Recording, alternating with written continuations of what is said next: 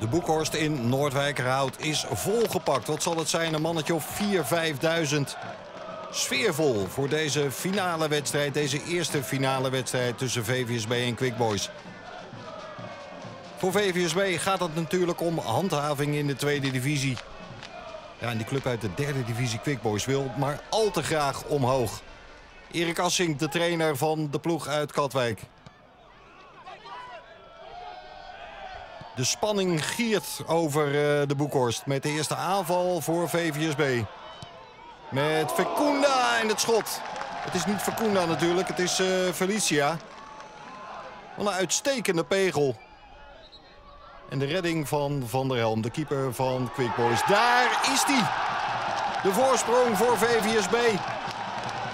En wie anders dan Frank de Voert. Wat is die man belangrijk voor de Noordwijker Houters. Bij de tweede paal staat hij te loeren op zijn kansje. Hij kwam in de winterstop ontevreden bij Rijnsburgse boys. En met name in die uh, na-competitie belangrijk hoor. Quick Boys. Met uh, Dennis Kaars. Weinig ruimte. Baten. Rolletje. En een makkelijke redding voor Ruben Valk. Ja, wat zouden zijn gedachten zijn? Hij kwam ook halverwege het seizoen de trainer Erik Meijers. En wist dat maximale tot nu toe eruit te slepen. En dat is na competitie. Daar is hij weer, Baten. De aanname was prima. Maar daarna was de hoek te moeilijk om eh, de gelijkmaker eh, binnen te tikken. Maar Quick Boys heeft eh, de schroom van zich afgeworpen. En gaat duidelijk op jacht naar die gelijkmaker. Thean. Dat is een aardige beukje richting uh, Verlaan. Ook de volgende is hij kwijt, is Arroyo. Thean met het schot. Oh! Opslag van rust. En als je het hebt over belangrijke mensen in een elftal, dan is hij er ook een hoor. Kate Thean vertrekt naar Kozakkenboys. Als deze serie erop zit, voor hem dus sowieso tweede divisie. Maar wat doet hij dit razend knap. Helemaal komend vanaf de rechterkant. Ja, zij zijn door het dolle heen. De ledboarding is gesneuveld. Bezorgde blik bij Erik Assink. Ja, daar zat een ballenjongen voor die ledboarding. Heeft hem over zich heen gekregen. En er moet dus eh, even behandeld worden. Nou, gelukkig kan de ballenjongen verder. Slotfase eerste helft. Met een lekker gevoel dus voor de spelers van Quick Boys. Thean, nee, het zit erop. De eerste helft. Nou, er gebeurde genoeg. Er wordt afgesloten met een 1-1 gelijke stand. Tweede helft dan. Het Quick Boys weer in de aanval. Baten naar Thean. Wordt vaak gezocht. Heeft altijd dreiging. Buitenom komt Bosma. Volgend seizoen VVSB.